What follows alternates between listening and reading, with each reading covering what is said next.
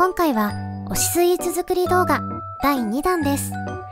動画内はふんだんにチリちゃんやチリちゃん、そしてチリちゃんが散りばめられておりますので、尊すぎて集中できないという方は、詳しいレシピや手順を概要欄に書いておきましたので、そちらをご覧ください。ごきげんよう、ほなみです。新年から景気のいい音が鳴ったところで、本日は、チリちゃん、夢女子界隈ランキング1位おめでとう記念お仕事中のチリちゃんに差し入れたい、銅マシュマロです。それにしても、あの名だたるイケメンたちを抑えて、チリちゃんが1位。世の夢女子に新しい世界を見せてくれたゲイフリさんには感謝しかないですね。さて、はじめに下準備をします。マシュマロは速さ勝負です。寒い日はすぐに固まってしまって、このようにガッタガタになってしまうので、できる限り事前に準備しておくことがかなり重要になってきます。まず天板にクッキングシートを引いて、厚めに片栗粉をふるいます。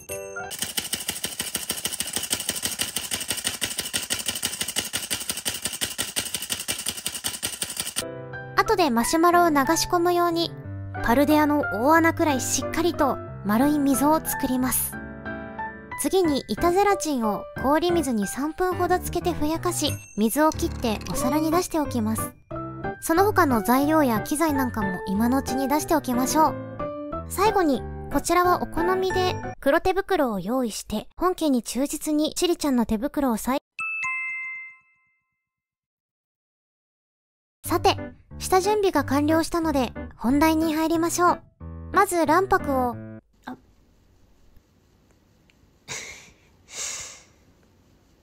えたえー、卵白を泡立て器で白くふわふわになるまで混ぜます。グラニュー糖を2回に分けて入れ、ドウちゃんのトゲのように角が立つまで混ぜましょう。グラニュー糖、水、水飴を鍋に入れ、火にかけ、110度になるまで煮詰めたら、先ほどの卵白を泡立てたボウルに入れて混ぜます。次に、下準備でふやかしていたゼラチンを湯煎で溶かし、また先ほどのボウルに入れてさっと混ぜます。ここからが速さ勝負です。固まらないように湯煎したり、インドメタシンを飲んで素早さを上げて作業していきましょう。まず、色をつけていきます。はじめにドウちゃんのお腹の部分の茶色を作っていくのですが、ところで、皆さんは何色と何色を混ぜると茶色になるかご存知ですか？そう。緑と赤です。緑と赤ですということで、チリちゃん、かっこ概念を加えます。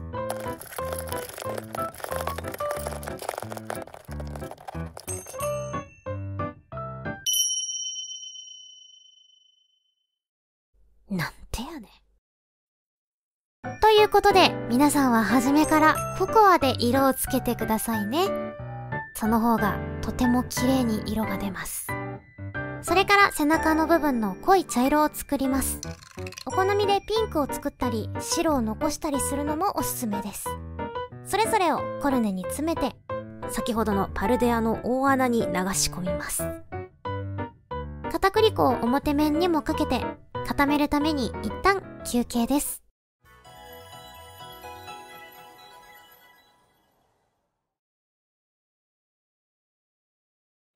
固まったら取り出して片栗粉を払ってあげます。チョコペンでお顔を描いて、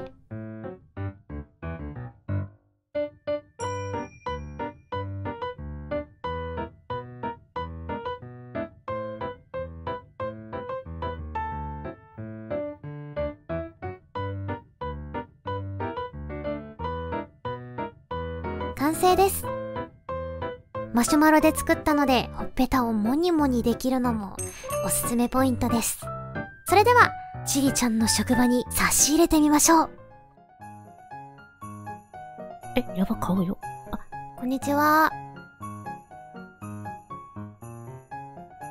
いつも、漆黒の天使ホナイル、あとチリちゃんしか勝たんっていうアカウント名でリプ送ってます。ほなみです。よろしくお願いします。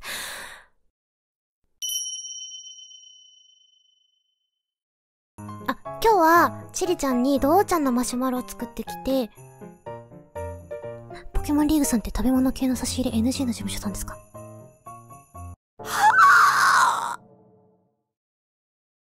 失礼しました。すいません、確認してなくて。本当に申し訳ありません。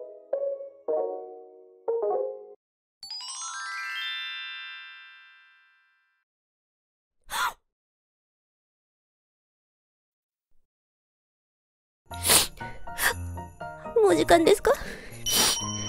ありがとうございました。また来ます。素晴らしい皆さんもぜひ真似してみてください。この動画を楽しんでいただけましたら、チャンネル登録、グッドボタン、コメント、ぜひよろしくお願いします。それではまた次の動画でお会いしましょう。ごきげんよう。最後のおまけコーナーはいさあ、というわけで、本編の方でちょっとだけ見切れさせてたお手製の黒手袋なんですけれども、この左側が前回作った黒手袋で、右側が今回作ったものなんですが、いや、こう比べると前回のものひどいですね。雑もいいところ。この手袋作ったものの使い道が全然ないんですよね。ぜひ、この手袋の有効な活用法を見出してくださった皆様いらっしゃいましたら、コメント欄にお寄せください。よろしくお願いします。以上、おまけコーナーでした。またね